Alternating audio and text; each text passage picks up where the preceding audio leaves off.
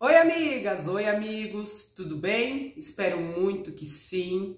Voltei aqui, gente, hoje. Demorei um pouquinho, né? Porque, que nem eu falei pra vocês, eu ia esperar dar um tempo, né? No, no, no remédio que eu tava tomando pra vir contar minha experiência e espero que ajude você de alguma forma.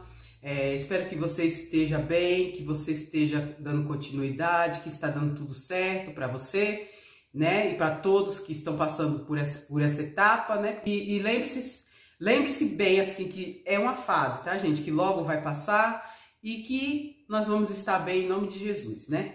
É, hoje eu vim falar sobre o Xeloda, né? Lembra que eu falei para vocês que eu ia tomar um ciclo e depois eu vinha falar para vocês, por isso que eu demorei um pouquinho, tá, gente? Pra vir falar do Xeloda. Hoje nós estamos no cenário da minha cozinha, porque eu tava terminando de lavar a louça e me deu vontade de falar com vocês agora, tá? Eu sou assim, gente, eu, eu não escolho lugar não. Na hora que eu tiver com vontade de falar, eu venho falar. Eu vou fazer seis ciclos do Xeloda, né, do capecitabina, e já concluí um, tô no segundo ciclo. Vivi o que, que você sentiu, Vivi você teve algum efeito colateral, é tranquilo. Gente, assim, super tranquilo, tá?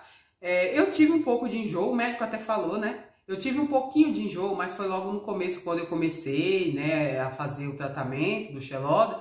Eu tive um pouquinho de enjoo, mas não era nada comparável ao enjoo da quimioterapia tomada na veia, que você vai lá no hospital, toma aquela quimioterapia de uma vez e volta para casa. E só eu, pelo menos, fazia de 21 em 21 dias. Então, aquela, aquela quimioterapia, a vermelha, né? Para mim, era vermelha é, ela me deixava muito enjoada, eu não tinha fome, é tanto que eu emagreci 10 quilos, é, a minha boca ficava com gosto, parecia que eu não tinha paladar, né? E essa daqui já não, essa daqui, o ruim é que você tem que tomar quatro comprimidos de uma vez, e os comprimidos são bem grandes, né, gente? E eu tomo quatro de manhã e quatro à noite. E assim, só foi isso, super tranquilo, assim, ele dá mesmo, né, que o médico tinha também falado para mim, ele dá um ressecamento nas suas mãos, as minhas unhas começaram a ficar estranhas, sei lá, ficou, ficou, ficaram meio estranhas, gente, não sei, e, e dá um ressecamentozinho mesmo na mão, na pele, mas nada que um creme hidratante é, resolva, tá? Nada que um creme hidratante resolva, e depois, né, vai passar isso quando você terminar. Eu tenho seis ciclos, né? Ainda eu tô no segundo e vai passar depois, gente, é normal, tá? É assim, é super tranquilo, não, não me dá mais nada. Assim, é, eu tenho muito calor, mas é, quem faz quimioterapia geralmente é, tem uma menopausa antecipada, né? Porque eu ainda não estava na, na, na idade da menopausa, mas a minha menopausa antecipada foi foi antecipada por causa das químio, né? Porque como a gente não menstrua, né, quando a gente toma químio, é, fica tipo uma menopausa, né, gente? Então, aí me dá muito calor, muito mesmo, muito calor, que eu tenho que dormir com o ventilador em cima de mim a noite inteira, gente. Senão eu não consigo dormir. Eu sou demais. Então, eu, eu comprei um ventilador mesmo para ficar em cima de mim o tempo inteiro. É, é isso, né? Mas assim, tô tranquila, né? Tô, tô de boa.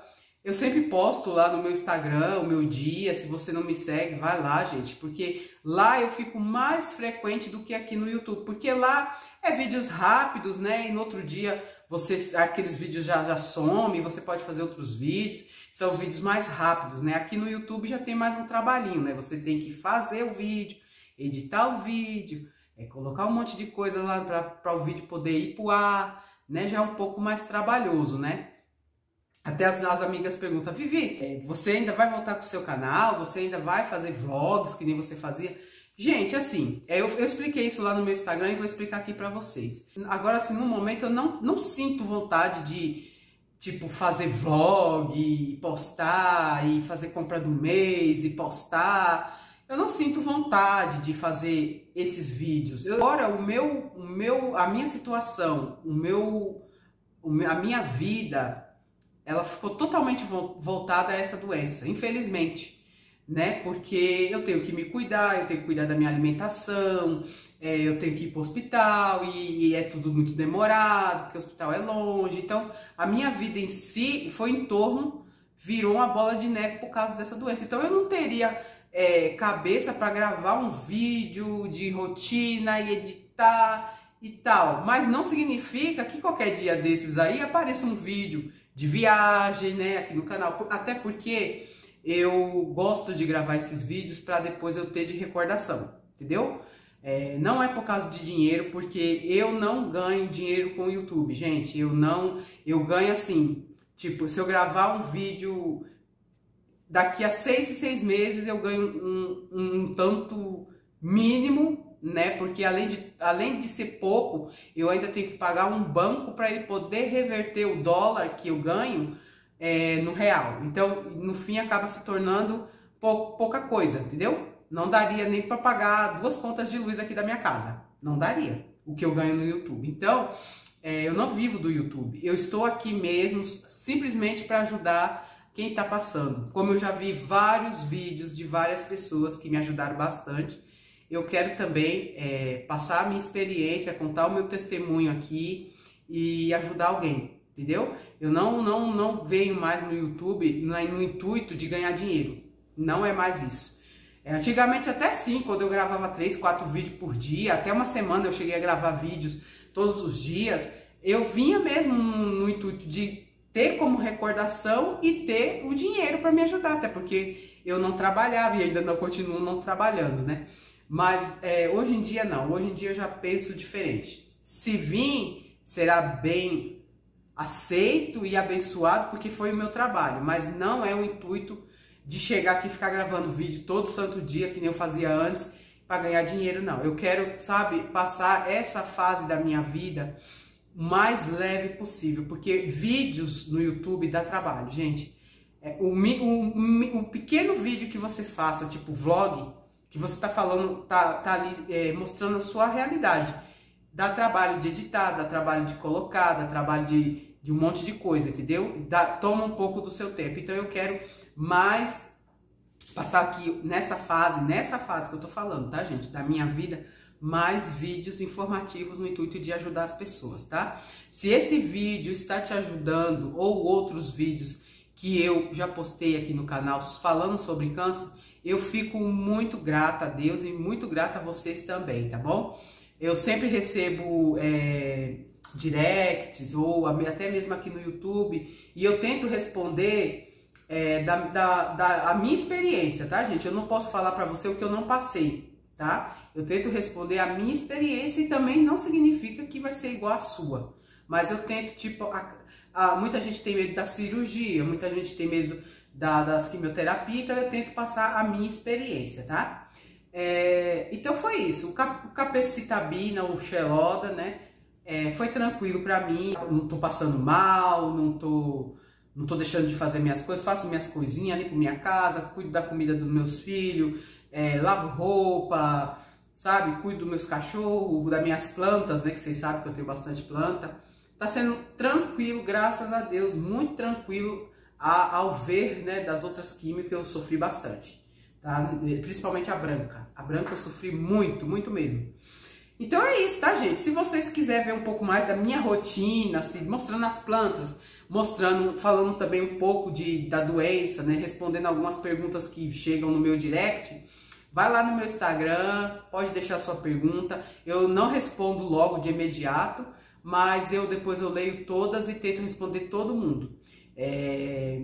E lá eu posto um pouco mais da minha rotina, umas palhaçadinhas, né? porque eu gosto de rir, né? Porque eu não, eu não sou uma pessoa triste, graças a Deus, né? Apesar dos pesares, né? Mas eu não sou uma pessoa triste, então eu sempre estou postando palhaçada, rindo muito e contando um pouco das minhas experiências com plantas, com até mesmo com o próprio câncer, né? Mas lá não é só tristeza não, tá, gente? Lá é mais alegria do que tristeza. Aqui também não, né? Aqui é mais é vídeos informativos mesmo, né? Então é isso, migas. Vou finalizar esse vídeo. Não era para vir falar muita coisa, porque não tinha muita coisa para falar também, né? É, continuo fazendo fisioterapia. Falei para vocês que eu ia mostrar aqui os exercícios. Eu vou ainda gravar esse vídeo para mostrar para vocês. É que tudo tem que ser com muita calma, muita cautela, né, gente? É, é muita coisa para mim resolver, muita coisa para mim fazer. É a vida meia corrida, com tratamento, com casa, com tudo. Vocês sabem como é que é, né?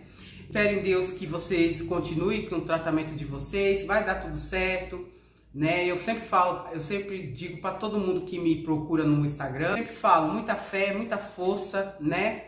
É, o impacto, o primeiro impacto que você descobre é, para todo mundo é terrível, mas com o tempo que você vai convivendo com essa doença e convivendo com pessoas que passaram, se curaram ou estão passando também, né? Que você no hospital, gente, você acaba é, tornando família, todas as famílias acabam se tornando uma. Então você vai sabendo da história de um, da história de outro que se curou, de outro que está se curando, de outro que ainda está no tratamento. Então isso te, te, te, deixa um pouco mais é, é, é, confiança que vai dar certo para você também, né?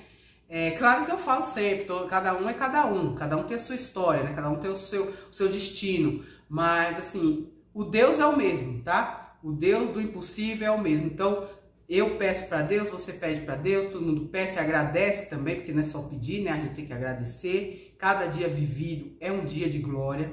Por mais problemas que você tenha, é um dia de glória, porque você está vivo, você está respirando, você está com a sua família, você está é, comendo, você está apreciando as coisas. Então, é um dia de glória. De você só abrir o seu olho, gente, é um dia de glória, né? Então, é, continue firmes, continue fortes, é, vai dar tudo certo.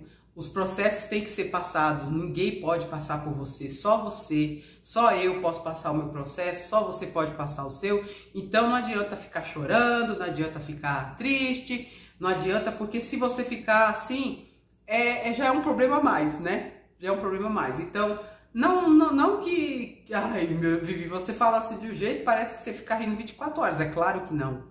Eu tenho os meus dias é, negros, né? Eu tenho as minhas as histórias que eu escuto.